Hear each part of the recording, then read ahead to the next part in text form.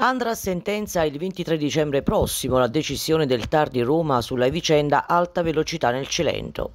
Una vicenda complessa, quella che decide il destino di decine di comuni ricorrenti al Tribunale, il parte coesi assieme ad associazioni nate per l'occasione nel contrasto delle decisioni progettuali che merita approfondimenti e ulteriori discussioni prima di una sentenza definitiva meramente amministrativa.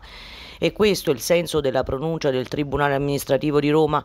Un rinvio al 23 dicembre dilaterebbe i tempi per ulteriori confronti e concederebbe altri mesi per cercare soluzioni che siano anche di merito. Una vicenda appunto complessa, il nuovo progetto dell'alta velocità approvato e già a gara finanziato parte dei fondi del PNRR è una spina nel fianco per moltissimi comuni del sud della provincia di Salerno, decine quelli ricorrenti nei mesi scorsi innanzi al TAR di Roma, una richiesta chiara, l'annullamento del decreto dei ministeri della transizione ecologica e della cultura favorevole al nuovo tracciato previsto da RFI, un percorso di quasi 60 km in più rispetto a quello attuale per il quale la spesa prevista è di 30 miliardi di di euro non interamente coperta dal Piano Nazionale di Ripresa e Resilienza. Pessimi gli impatti ambientali, il nuovo tracciato attraverserebbe aree fortemente esposte a criticità idrogeologiche e sismiche senza considerare lo sfondamento di montagne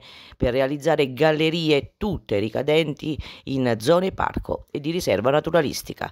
Contrari alle disposizioni progettuali molti comuni costieri come Casalvelino, Ascea, San Giovanni Appiro e Vibonati solo per citarne alcune. La delocalizzazione della nuova tratta alta velocità che doppierebbe la Tirrenica a rischio di depotenziamento distruggerebbe il turismo. Sulla vicenda si sono espresse in modo aspro anche alcune associazioni nate per contrastare l'idea progettuale, mentre alcuni sindaci hanno favorito momenti di confronto con la cittadinanza. Il primo cittadino di Castelnuovo Cilento, Eros Lamaida, ricorrente innanzi al TAR di Roma, ha commentato commento della decisione del Tribunale rinnova l'impegno per quella che è una battaglia di progresso e civiltà.